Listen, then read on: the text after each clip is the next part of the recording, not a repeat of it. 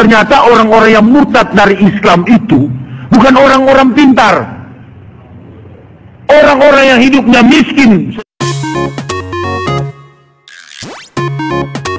Salam jumpa dalam kasih Tuhan. Berjumpa lagi dengan saya Pastor Demos Tanwek di dalam channel ini. Saya mengucapkan banyak terima kasih kepada Bapak Ibu yang telah subscribe, like, dan komen. Tuhan Yesus memberkati. Saya mengajak juga kepada Bapak Ibu yang baru pertama kali mampir di dalam channel ini, mari dukung channel ini dengan cara subscribe, like, dan komen. Tuhan Yesus memberkati. Bapak Ibu Saudaraku yang dikasihi dan diberkati oleh Tuhan Yesus Kristus. Pada kesempatan yang baik ini kita akan membahas salah satu perkataan daripada Ustadz Yahya Waloni.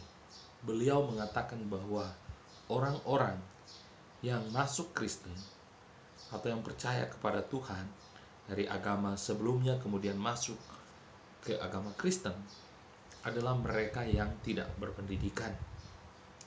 Mereka yang sumber daya manusianya rendah. Bahkan beliau mengatakan bahwa miskin. Untuk lebih jelasnya mari kita saksikan video berikut ini. Out. Ternyata orang-orang yang murtad dari Islam itu bukan orang-orang pintar. Orang-orang yang hidupnya miskin secara ekonomi dan kemudian sumber daya alam, apa sumber daya manusianya lemah. Pendidikan formalnya paling SD. Puji Tuhan, Bapak Ibu Saudaraku yang terkasih di dalam Tuhan Yesus Kristus. Sekalipun Ustadz Yahya Waloni mengatakan demikian, tentunya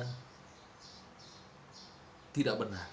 Karena setiap orang yang telah percaya kepada Tuhan Yesus Kristus, entah itu mohon maaf miskin, kaya, ataupun punya pendidikan ataupun tidak.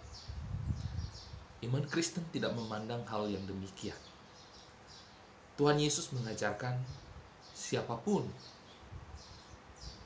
orangnya, baik itu kaya ataupun miskin, ataupun punya pendidikan yang tinggi ataupun rendah, Yesus tetap menerima dan kekristenan mengedepankan kasih. Karena kasih itu yang mengikat semuanya. Dan oleh karena itu, statement daripada Ustadz Yahya Waloni yang mengatakan bahwa orang yang masuk ke Kristen adalah mereka yang tidak berpendidikan, mereka yang miskin, sesungguhnya tidaklah benar.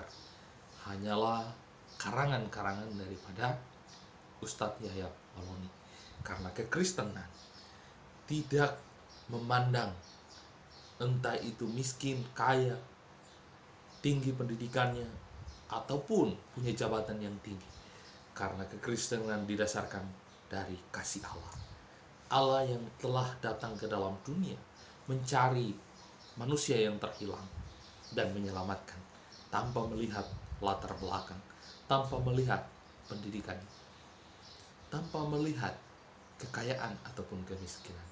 Karena Tuhan mengasihi setiap kita sama di hadapannya. Tuhan Yesus memberkati kita semua. Shalom.